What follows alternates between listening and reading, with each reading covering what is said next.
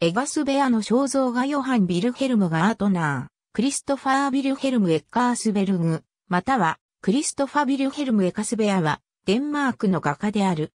デンマーク黄金時代と呼ばれる時代の画家で、デンマーク王立美術院で多くの画家を育てた。シュレースビヒ公国のブレイクログで生まれた。父親は大工、塗装工であった。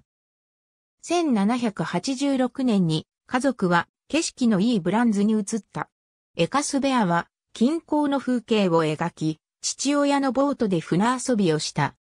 欧弁道の教会が肖像画家のイエスンの下で絵を学び始め、17歳の時にフレンスブルクの画家の見習いとなるが、デンマーク王立美術学校で学ぶことを望んだ。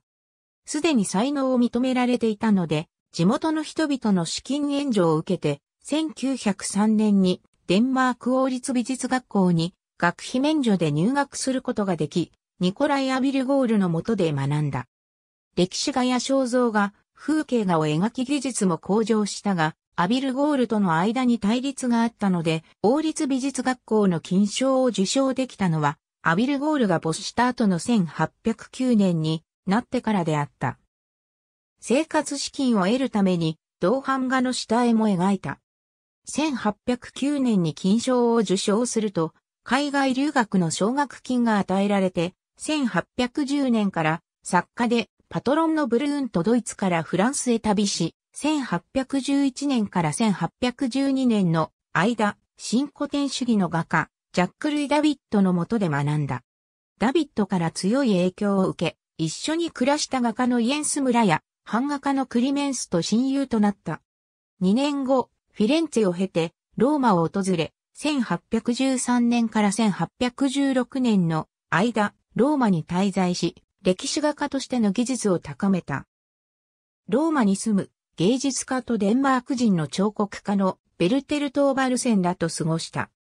1916年にデンマークに戻った後、1817年に王立美術院の会員に選ばれ、1818年ヨハン・ルート・ビッヒルンドと共に教授に任じられ、1827年から1829年の間は校長も務めた。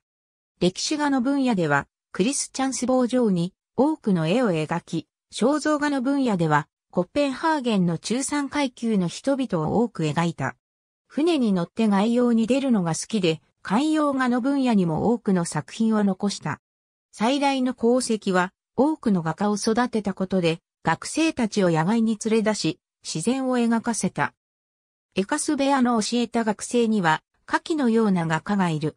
エガス部屋の生誕100年にあたる1883年から、デンマーク王立美術院は、エカス部屋メダルを優れたデンマーク人の画家、建築家に送っている。ありがとうございます。